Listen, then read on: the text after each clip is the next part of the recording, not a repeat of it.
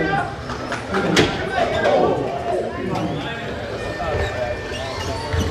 it, Brad?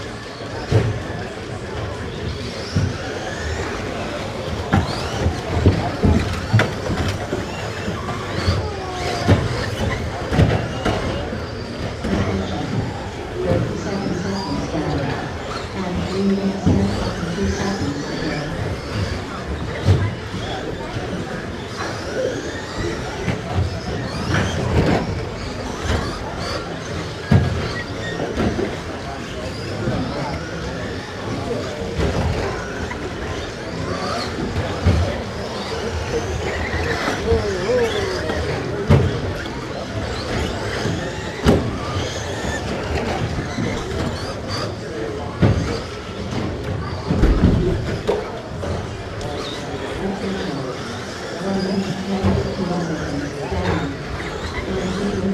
you.